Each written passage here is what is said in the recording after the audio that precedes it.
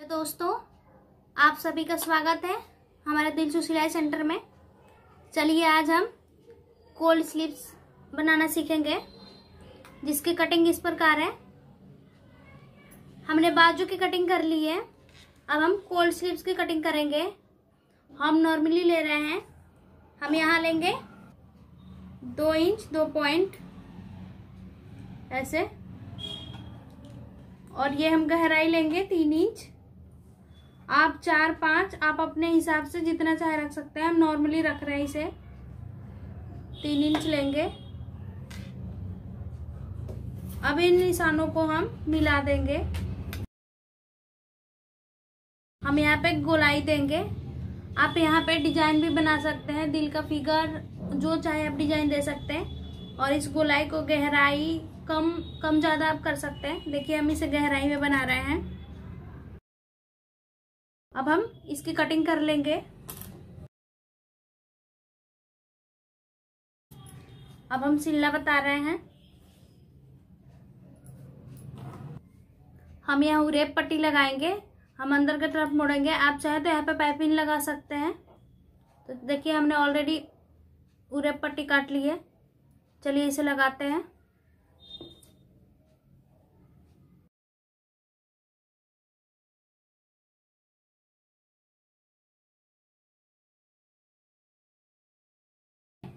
हमने इसे लगा लिया। लगाने के बाद यहाँ पे हल्का हल्का नाखून से प्रेस कर लेंगे हम पूरे में।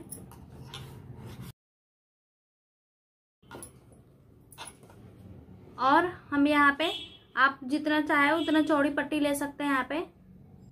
हम इतना पट्टी लेंगे। सिलाई करके फिर दिखा रहे हैं।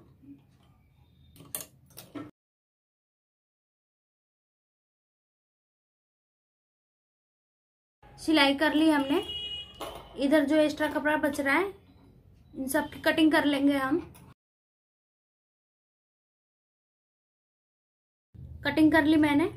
अब आप चाहें तो इसकी तुरपाई कर दें, या फिर इसे पलट के सिलाई लगा ले एक। मैं सिलाई लगा रही, ऐसे करके, इसे फोल्ड करके। हम सिलाई लगाएँगे। चलिए पूरी में सिलाई लगा के दिखा रहे हैं।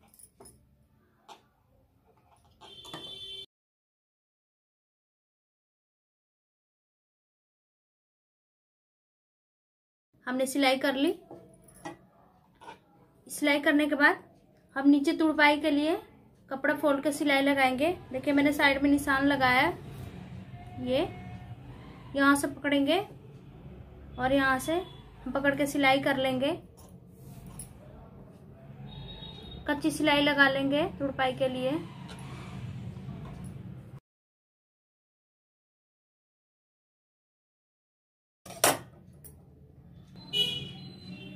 अब हम दोनों बाजू में एक साइड यहाँ पे कटिंग करेंगे, आगे वाले पार्ट में। कोल्ड स्लीव्स बनाते टाइम हम पहले कभी नहीं कटिंग करेंगे। ये बाजू बन जाने के बाद तब हम यहाँ पे साइड आगे वाले पार्ट में कटिंग करेंगे। यहाँ पे तो ये चीज़ कटा हुआ है तो यहाँ पे हम गहराई ले लेंगे ज़्यादा। और इसकी कटिंग कर लेंगे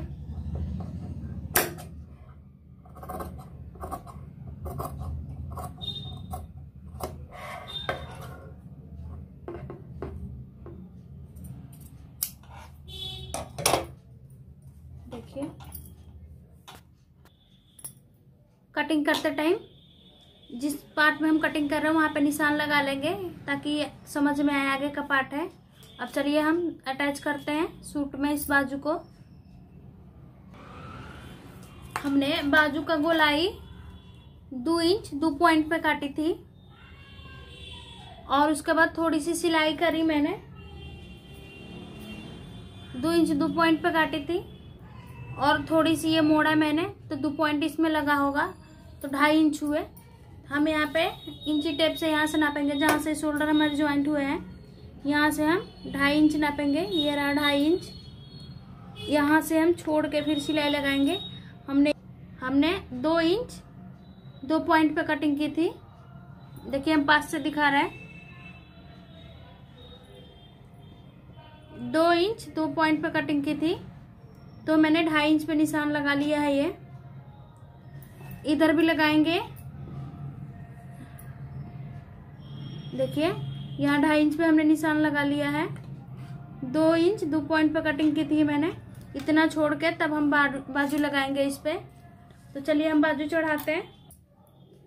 ये जहाँ पे हमने निशान लगाया था, ये यहीं से लगेगी तो यहाँ से स्टार्ट करेंगे हम।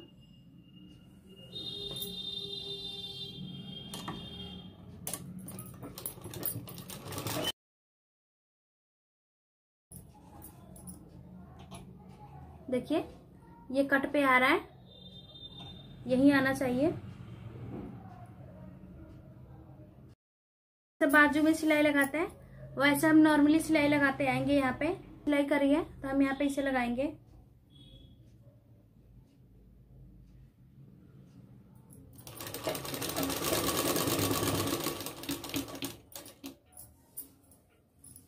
इस कट तक हम सिलाई लगाते आएँगे।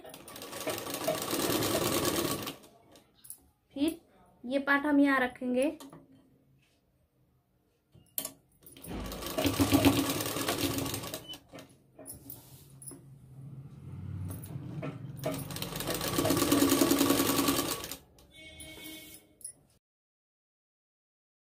हम इस पे डबल सिलाई लगा ले रहे हैं।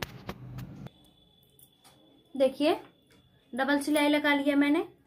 इसको, इस कंधे को सिलाई के बाद ये जो दिख रहा है इसको ढकने के लिए हम यहाँ पे इस पे रख के एक पट्टी सिलाई लगाएँगे। देखिए, मैंने एक पट्टी ले ली है नॉर्मल। इसे यहाँ से थोड़ा फोल्ड कर लेंगे, फिर हम यहाँ से रख के सिलाई लगाएँगे।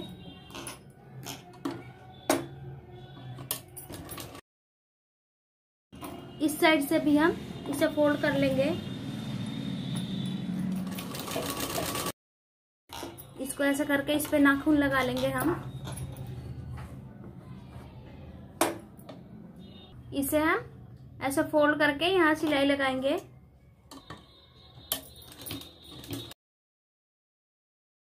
इसे आप आप चाहे तो इसे तुड़पाई कर दें, या फिर ऐसे पलट के इस पर सिलाई कर दें। मैं सिलाई लगा रही हूँ।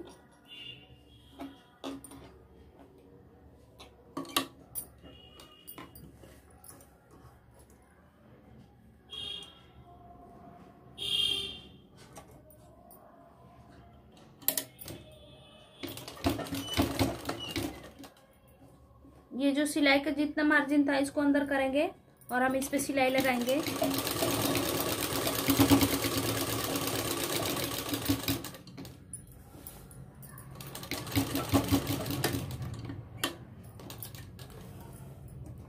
उसके बाद इसे निकाल लेंगे। देखिए, अंदर कितना फिनिशिंग के साथ ये लगा है। ये हमने चीट बटन वाला भी लगा लिया है।